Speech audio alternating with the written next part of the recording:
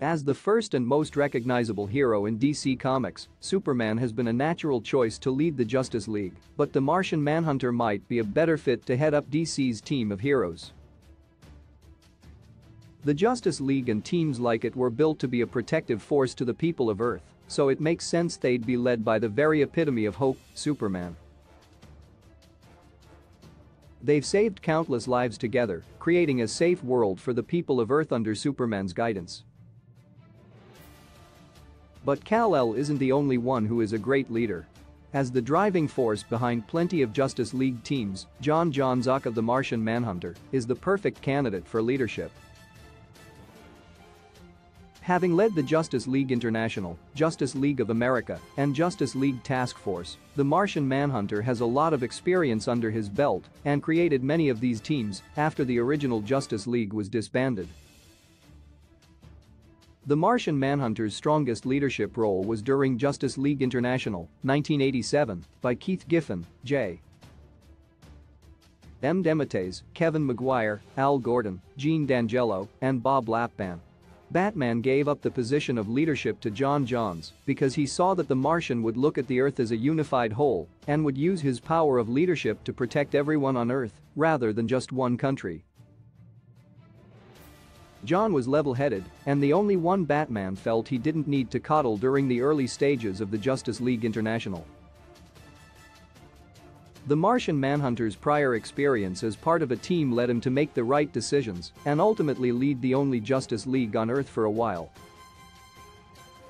He forged a relationship with the countries of the world and made sure every single person felt cared for and protected in some way. That wasn't the only instance of J'onn stepping up to become a leader.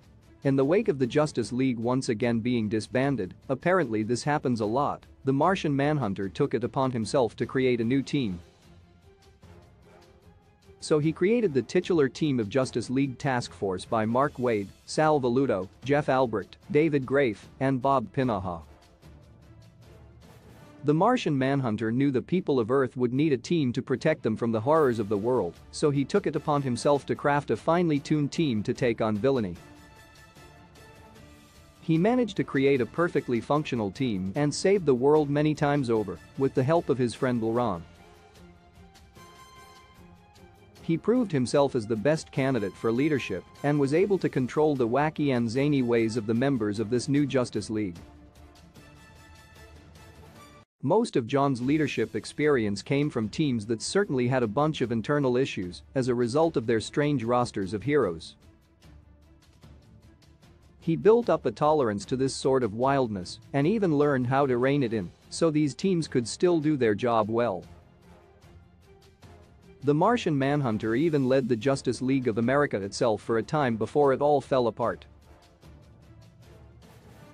While his stints as a leader may not have lasted that long, they definitely proved worth it in the end. These teams that he led gave the world its rightful protectors during times when these teams were otherwise lost. The people of Earth would never feel alone with the Martian Manhunter there to guide new heroes towards being their protectors. Arguably, because of the absence of the original Justice League, J'onn's time leading these teams was pivotal to the growth of the DCU. He managed many dysfunctional teams and got them to work together towards one common goal, the Martian Manhunter proved to rival Superman in his ability to lead any version of the Justice League.